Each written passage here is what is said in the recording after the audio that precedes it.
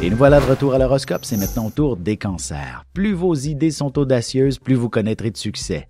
Qu'il s'agisse d'une entreprise à la maison ou en famille, vous devriez trouver toutes les solutions à vos problèmes financiers. Côté cœur, il est absolument impossible de vous cacher quoi que ce soit. Vous devinez tout et vous comprendrez parfaitement l'état émotionnel de votre partenaire. Les lions, il est possible qu'un de vos enfants vienne jouer sur une corde sensible.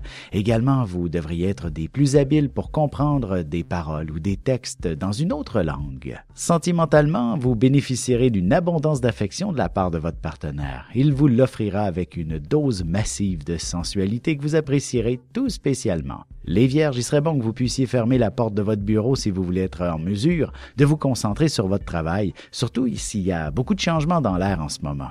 Et en amour, il est clair que le désir se fera sentir particulièrement fort au sein de votre couple. Évitez de trop parler et laissez-vous guider par les caresses de votre partenaire. Et on se retrouve dans quelques minutes pour la suite de l'horoscope avec les balances, scorpions et sagittaires.